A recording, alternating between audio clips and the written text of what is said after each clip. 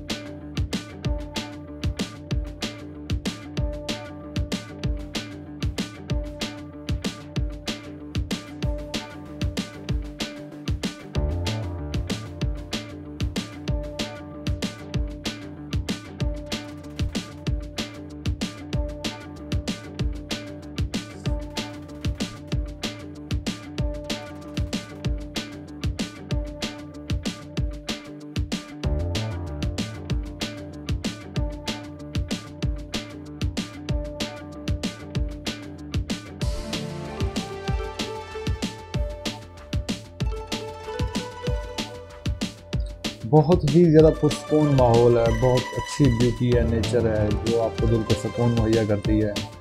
आप वहाँ पे जाके रिलैक्स हो सकते हैं बहुत ज़्यादा। बड़ा कमाल का व्यू है, बहुत प्यारा अमेजिंग है।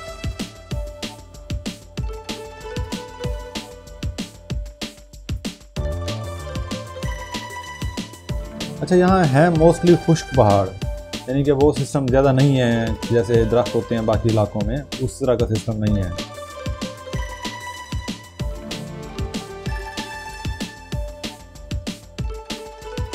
Amazing.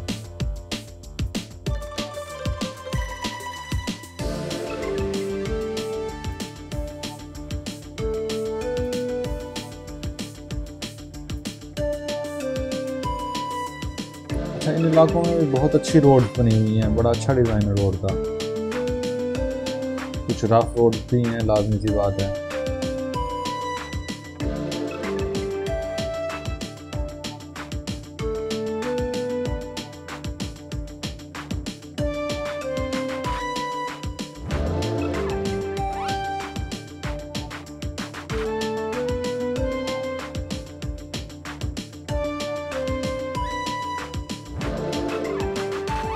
औसम यार शदीद प्यारा माहौल है बहुत प्यारा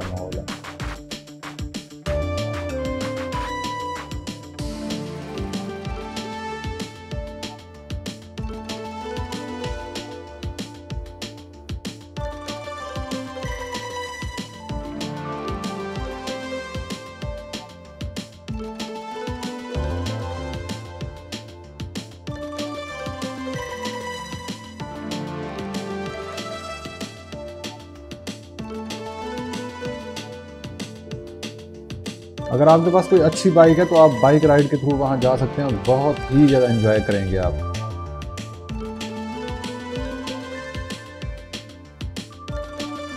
देखिए, उसकी बाइक फंस गई है।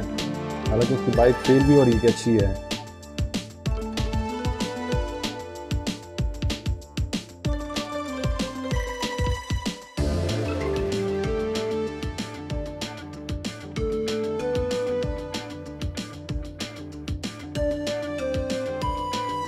वैसे यहाँ पे हमें तो बंदे के पास फोर बाई फोर गाड़ी चाहिए।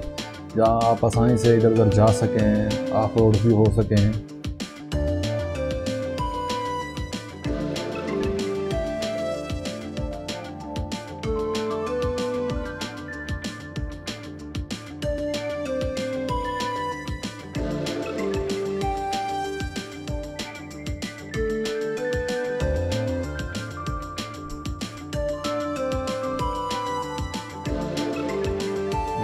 अमेजिंग बहुत ही कमाल का व्यू है।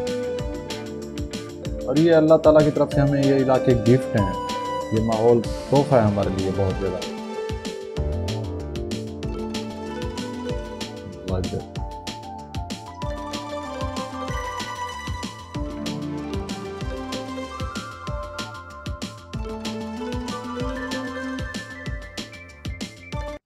तो दोस्तों ये थी हमारी आज की वीडियो। आज की वीडियो में जैसे आपने देखा कि हमें सकरदू गिलगित बल्तिस्तान के मुख्तलिफ़ इलाकों को ड्रोन के थ्रू दिखाया गया ड्रोन व्यू दिखाया गया। सिनेमाटिक शॉट्स थे ये बहुत ही उमदा तरीके से इसको फिल्माया गया। आ, सबसे अहम बात जो ये है कि वैसे मैंने आपको बीच में बताया कि यहाँ पे खुश्क पहाड़ हैं वो तरोताज़ा जैसे सब पहाड़ होते हैं दरख्त होते हैं वो सिस्टम बहुत ही कम है यहाँ पे। आ, है सही लेकिन वो रेशो नहीं है। जैसे आप मिसाल के तौर पे आप जाते हैं नारायण का गान जाते हैं या मरी जाते हैं एबटाबाद जाते हैं तो वो सिस्टम बहुत कम है। लेकिन ये है कि जैसे वो सहरा का एक रास्ता है जिसको कोल्ड डेजर्ट भी कहा जाता है आ, बहुत ही ज़्यादा ठंडा सहरा है। वहाँ पे भी आपको अगर आप वहाँ पे एक दिन गुजारेंगे आपको पता चलेगा कि वहाँ पे कितनी ज़्यादा सर्दी है। जस्ट लाइक नारायण का गान इतनी ही ज़्यादा सर्दी होती है या इससे भी ज़्यादा हो जाती है रात के टाइम पे। उसके अलावा जो झीलें थी, बहुत ही प्यारा उनका व्यू था और मैंने एक बीच में बात की थी कि जो रोड मैप था, वो बहुत ही अच्छा उन्होंने बनाया हुआ था।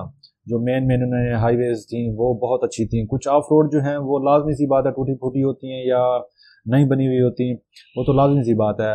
आप यहाँ पे अगर जाना चाहें तो मेरा तो बस बेहतरीन मशवरा ये है कि आप four by four vehicle use करें।